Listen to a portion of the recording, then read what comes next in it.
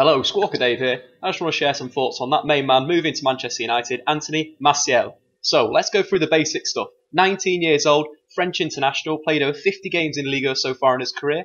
Last season, scored 9 goals in the league.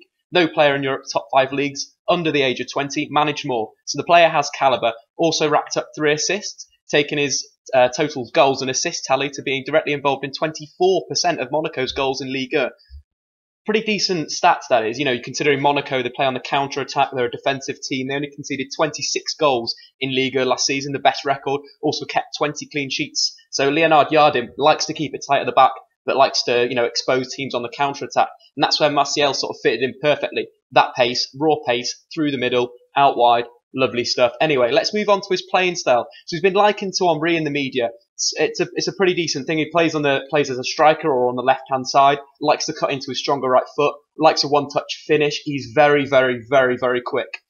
Similar sort of body build to to Henry. He's a five eleven, not as tall as Henry, but similarly quite muscular, muscular build, decent stuff.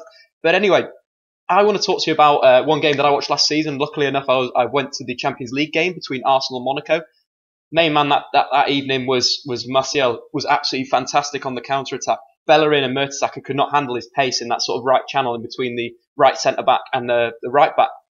He um, got the assist for the Berbatov goal after a brilliant 20 yard run, beat around three or four players, was was just fantastic stuff. And you can look at Memphis Depay and, and Martial sort of combining and becoming those two players that would make Man United very, very dangerous on the counter attack, both at home and abroad. Anyway, do I think he's going to be a good signing for Manchester United? Yes. Obviously, a massive fee, not confirmed yet of how much um, Manchester United are actually paying for Martial, but he's worth it. He's got potential. 19 years old, you know, quick. He's got it all really. He can become that Premier League top goal scorer.